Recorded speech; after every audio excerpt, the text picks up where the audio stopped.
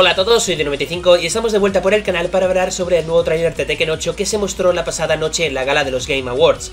Además de Tekken, hubo muchísimas sorpresas de las cuales tenéis las reacciones por el canal por si os interesa ver nuestras impresiones. Sin embargo, lo que nos atañe en este vídeo es analizar todo lo nuevo que se nos ha revelado sobre Tekken 8. Eso sí, no nos centraremos en los apartados técnicos o de gameplay, ya que ya hay mucho contenido donde se ha analizado esto, destacando sobre todo la nueva mecánica conocida como Hit System, la cual tiene la particularidad de otorgar a nuestro personaje de unos movimientos extras temporales, además de una especie de dash cancel, dándonos la posibilidad de alargar nuestras combinaciones mucho más y realizar combos más espectaculares. O por ejemplo, las nuevas interacciones con el escenario, donde podemos ver como una vez Jack es impactado contra la pared y este explota unos barriles cercanos. Esto recuerda un poco a las interacciones de escenarios que podemos ver en la saga Dead or Alive. Por lo tanto, en este vídeo seguiremos teorizando sobre la historia que tendrá Tekken 8, que ya os adelanto que la teoría que traigo se complementa sumamente bien con la que hice del primer tráiler, por lo que os animo a que le echéis un ojo para entender mejor lo que diré a posteriori. En fin, ya hemos calentado los motores, por lo que os pido amablemente que cojáis una mantita, que hace mucho frío, toméis vuestro asiento preferido y relajaos, que empezamos con el vídeo.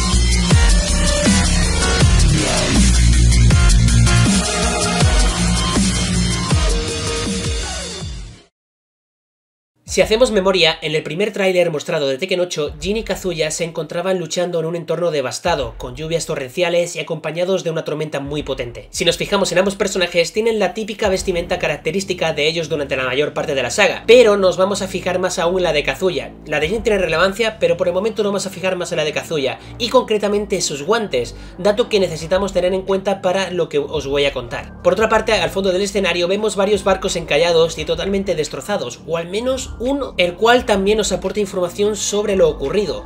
Teniendo esto en cuenta, damos inicio al nuevo tráiler de Tekken, donde vemos a un Jin totalmente derrotado hundiéndose en el mar, al borde de la muerte, donde al final de la secuencia vemos como una figura oscura y con forma de demonio aparece y lo rescata, o al menos esa es la sensación que da. Esta escena es muy similar a la que tenemos en Tekken Tag Tournament 2, en la cual Jun es salvada por Angel, absorbiendo esta el gen diabólico que la rodea, quitándole tanto la maldad como los poderes que la convertían en Unknown. En el caso del tráiler no es Angel, sino Kazuya, siendo este Kazuya el que vemos en el primer tráiler de Tekken 8. Si os fijáis los guantes son prácticamente los mismos y sinceramente he estado indagando y demás y no veo... Mmm, mucho más parecido con otro tipo de guantes en los distintos personajes que tenemos en Tekken. Entonces, aquí viene la primera parte de la teoría. Desconocemos por el momento los motivos por los que Jin se encontraba en alta mar, pero dado que Jin y Kazuya están en guerra, este último ataca por sorpresa a ese barco, hundiéndolo y quedando Jin a la deriva, donde posteriormente Kazuya lo sacará del agua y dará comienzo a la batalla que tenemos en el primer tráiler. Ahora podríais preguntarme, mm, que de ser así, ¿por qué Jin tiene una ropa diferente?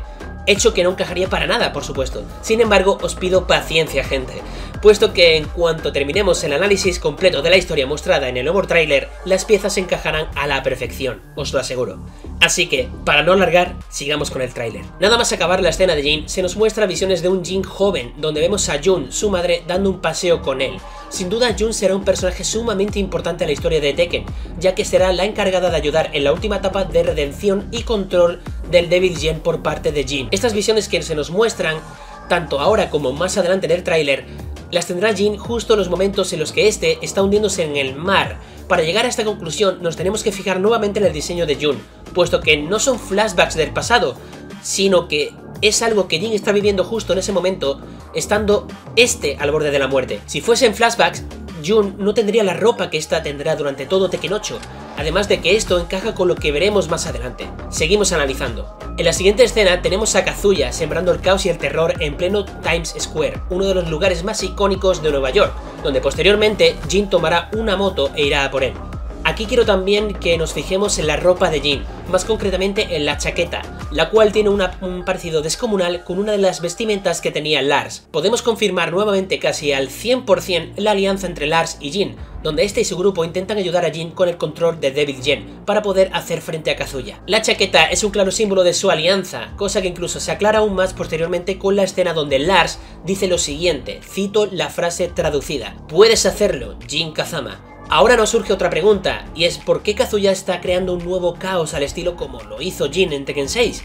Aquí lo tengo bastante claro a pesar de la falta de información en este aspecto, pero creo que no me equivoco al decir que Kazuya tiene como objetivo absorber el Devil Gen de Jin. Por lo tanto, este lo provoca con estos actos, además de organizar un nuevo torneo del Rey del Puño de Hierro, para así dar lo antes posible con su paradero. Esto beneficia a ambos bandos, ya que por un lado Kazuya quiere convertirse en una especie de nuevo dios en el mundo sucumbido por la maldad de Devil Gen absorbiendo el poder de Jin, y por otro lado tenemos a Jin, Lars y compañía, los cuales tienen como prioridad acabar con Kazuya. Posteriormente en el tráiler se nos muestra secuencias más influyentes en el apartado del gameplay que en el de la historia, además de mostrar personajes conocidos de la saga.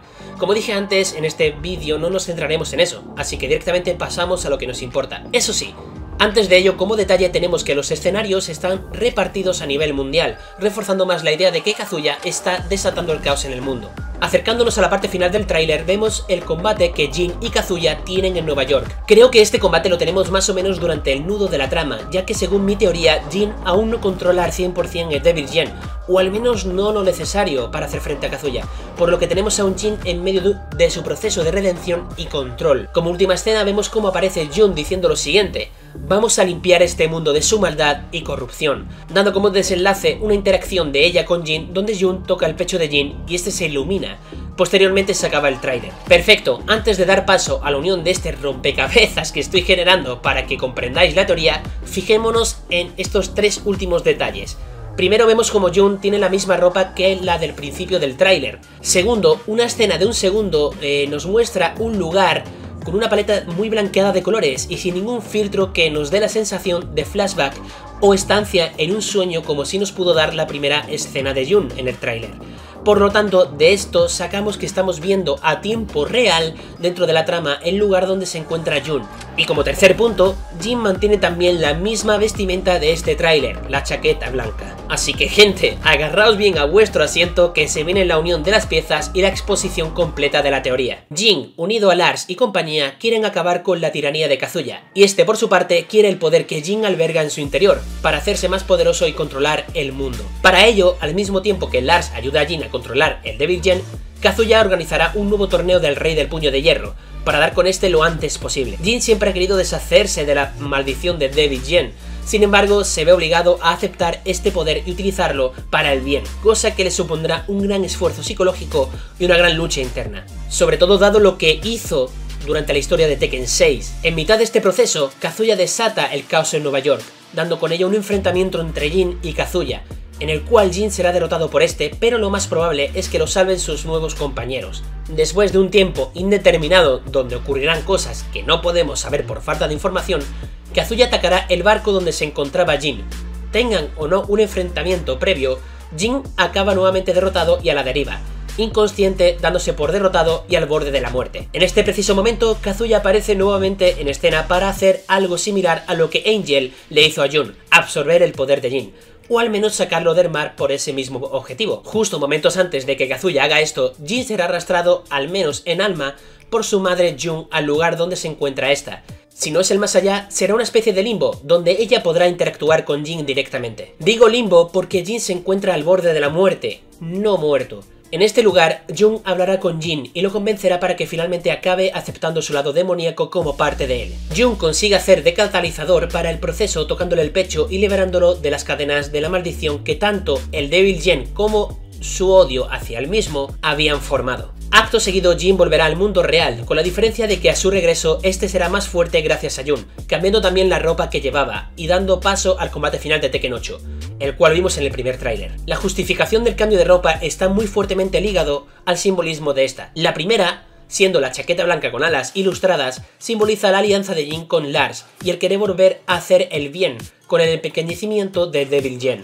Sin embargo, esta no representa al verdadero Jin, como lo hace la que obtiene tras la conversación y la ayuda por parte de Jun. La segunda vestimenta representa la aceptación por parte de Jin de su verdadero ser, teniendo este el control de Devil Jin ilustrado en los pantalones, con matices blancos, dando a entender que es una versión buena del propio Devil Jin, influenciado por el corazón de Jin y claramente manteniendo el estilo que siempre ha caracterizado a Jin. Desde ese momento Jin deja de ser una herramienta y pasa a convertirse nuevamente en el Jin de buenas intenciones que un día fue, influenciado esto claramente por Jun. En fin gente, esto sería la teoría de este nuevo tráiler. La verdad, no sé qué pensaréis respecto a esta, pero a mí al menos acabe siendo cierto, ¿no? Me ha encantado y creo que encaja sumamente bien con lo mostrado y casi al 100% con la que mostré en el vídeo anterior.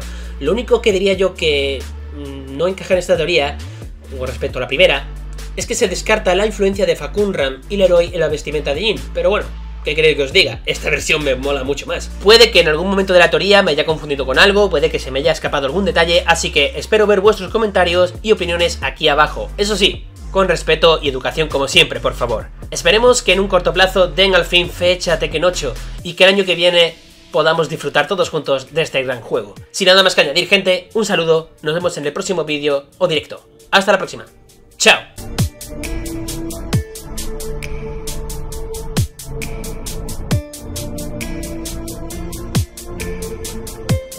Tale of Naruto Uzumaki. yes, that is a nice ring